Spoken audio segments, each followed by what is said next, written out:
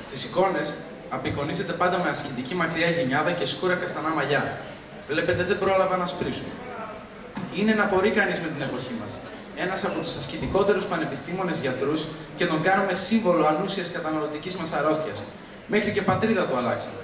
Σαν να θέλουμε να αποθήσουμε την επικίνδυνη για βόλεψή μας πραγματικότητα.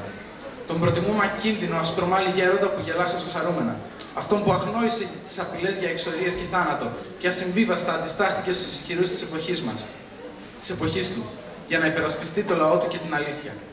Του προσθέσαμε μια χοντρή κοιλιά και τον ντύσαμε με διαφημιστικά χρώματα εταιρείας αναψυκτικών. Αυτόν που έλειωσε για να σβήσει τα δάκρυα των πονεμένων και που τον, που τον περισσότερο χρόνο της ζωής του έτρωγε βραστά χόρτα και βρεγμένο κρίθινο παξιμάδι.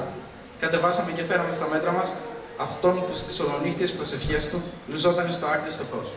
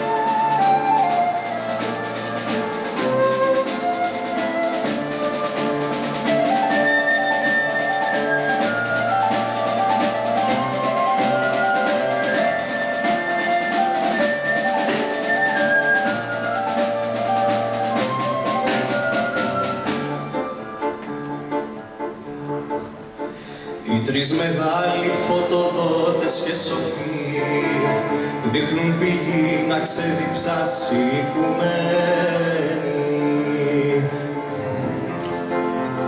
Πλούτη και δόξα ανηθήκαν στη ζωή προς την τριάδα και οι τρεις υποταγμένοι του αναστημένου μαθητές και έχουν αρχή πόλεμο αγάπης που την κοινωνία γιατρεύει. Για κάθε πεινασμένο έχουνε τροφή. Και αληθινή ζωή για όποιον τη γυρεύει. Στην Άγια έπαξη της φωτοφόρη Ιωάννης Βασίλειος Γρηγοριος άρρηκτα τέλειαξαν πίστη και γνώση νιώτη ταπείνωση. Ύλη και φως. Στην κοινωνία μας που σήμερα πονά Δώστε μας λίγη απ' την αγάπη σας πατέρες Ανάψτε μέσα μας την Άγια σας φωτιά. Παρηγοριά να πλώσουμε σε κρύες μέρες